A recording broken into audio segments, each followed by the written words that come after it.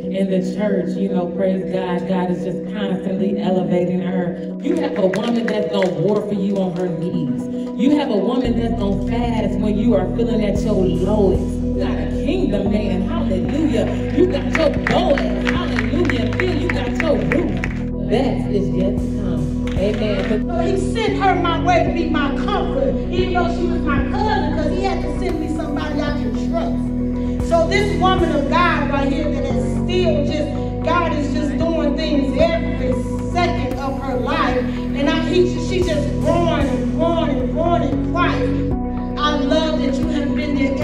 step my life. Amen. You are just beautiful. You're shining inside and out. Amen. And then to see you today, today was my goodness. I woo! If we would have went a little longer. I watched her grow. Um, I watched her get through many of her battles. Um, I watched her go through some tough times. She used to call to ask me to pray for her, and now I call on her to pray for now. So I have seen you grow. Like you have grown tremendously. And I'm happy for you. I'm really happy for you. And I'm happy that you have a God-fearing man Yes. by your side. And you are there to love my mother. Like, make sure you love her and you protect her. A great man and I'm glad that I did gain a stepfather.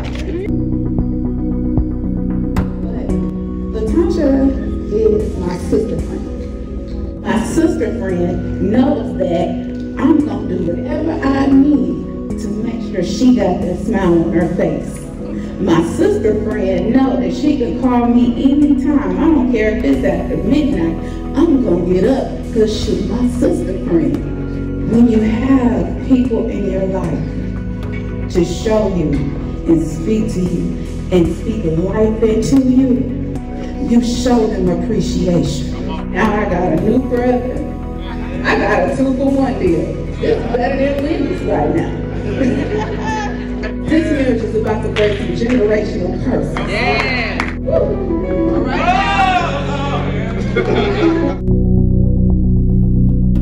This is a union right here. This is a marriage that was made in heaven. On your joyful wedding day, you begin a brand new life. Friends and family give their gifts to the joyful husband and beautiful wife. But the greatest gift you'll ever get, a gift from heaven above, is, is love forever, ending never, everlasting love. You'll share life's pain and pleasure. You'll have plenty of that, it's true. But love is the real treasure for your new spouse and you. Uh, and if life hands you challenges, as it does to one and all, God will hold you steady and never let you fall. Your wedding day is full of joy, all the smiles that we can see. But one thing's for sure for the two of you, the best is yet to be. Congratulations.